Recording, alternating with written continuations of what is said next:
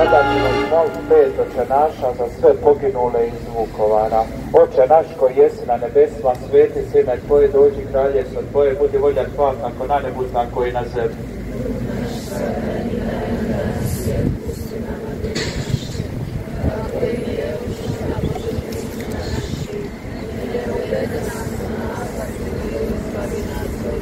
Zdravo Marijo, milosti puna gospodin s tobom, blagoslovljena ti među ženama i blagoslovljen plod utrobe tvoje Isus.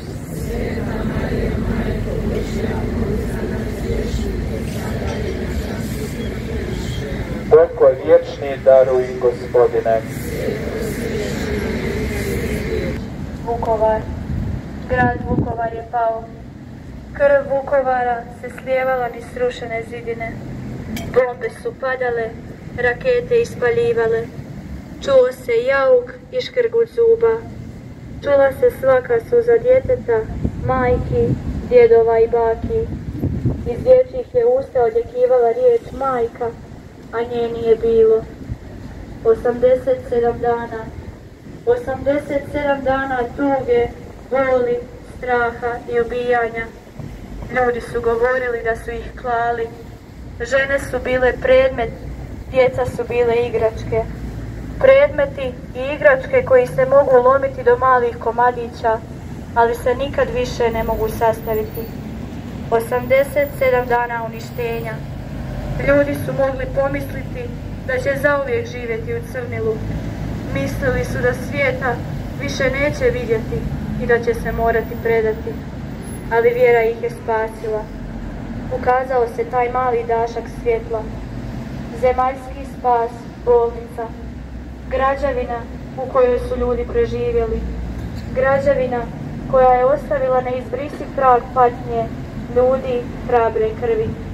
Htjeli su spasiti ozlijeđene, međutim neki su pretrpjeli muku te ostali zakopani duboko u hrvatskom tlu.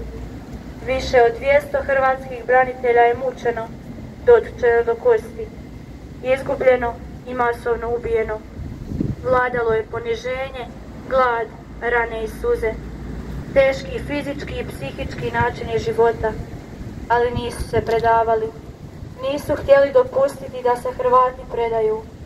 Nisu znali reći ne možemo, nisu znali što to znači riječ poraz. Gospodin ih je držao na dlanovima. Oni koji su preživjeli, a borili se za život, rekao je, čovječe, potreban si još svijetu, ostani. Potreban si prenositi svojoj djeci, unučadima, događaj iz kojeg sam te izbavio, iz kojeg sam izbavio Hrvate, moje vukove. Zašto vukovi, a ne ovce, kako kaže sveto pismo? Hrvatska krv, krv koja nije izdala Boga. Hrvatsko se srce bojilo za Boga, borilo se za pravdu onoga koji je alfa i omega. Vjerovali su u tu alfu, u taj strašni početak, u taj jauk, strašni nastavak tih dugih 87 dana. Vjerovali su u alfu jer su znali da će doći omega, da će doći kraj toj muci, strahu, prizi i borbi za život, za svoju obitelj i djecu. Vjerovali su da će Bog stati na stranu dobra. Bog je stoga postavio hrvatske vukove da brane svoje teritorije protiv crnih ovaca. Čovjek Vukovar nije poražen. Čovjek je Vukovar prolio krv za nas. Bez Vukovara ne bi bilo nas. Bez Vukovara ne bi bilo žrtve ni spasa. Vukovar nije pao.